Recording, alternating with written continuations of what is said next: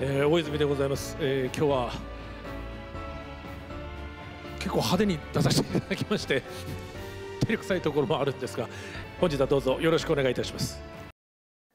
やっぱりこうしばしこう目をつぶってこう上を向き来たかそういう感じですね。そうです 大変厳かな気持ちで受けました。来たか。再現ありがとうございます。まあ、それぐらいほうという感じ、ね、そうですね。もうすぐ父に電話して来たぞっていうようなことで、えー、家族にも家族にも家族にも伝えて 父も来たかというような感じですね。いやもう相当相当待ってましたね。あのベトナムを株で縦断したあたりから狙ってました。わかりました。そろそろじゃないかぐらいに思ってましたじゃあ満を持してよろしくお願いいたします。すいません無茶ぶりでした。いいどうぞ召し上がってくださいいいですか？こんなに厚く切ってるこっちですか？いやどっちでもいいんですけども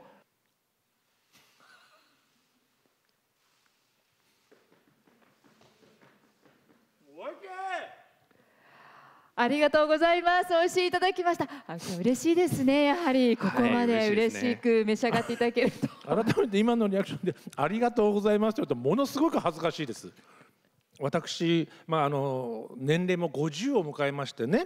体がだいぶやっぱりこう年をこう取ってきたなと感じることがございまして、はい、ずっと今あのドラマの撮影をしてたわけですけども、うん、まあ、その撮影なんかでもやっぱりこうちょっとこう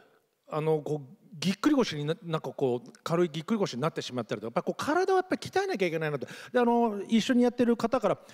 「ようちゃんも体を鍛えなきゃダメよ」と。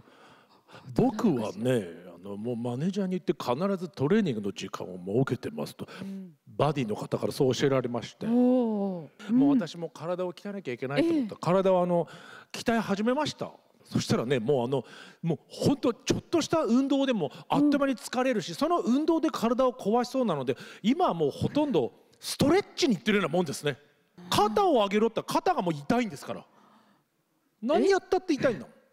そうですか。私ね本当にあのなんかこういい体になれるのかしらね。だからもう頑張ってじわじわやっていくしかないなと思うんだけどもあの私もあのいい体になってあの皆さんの前にまた登場したいというふうに思っております。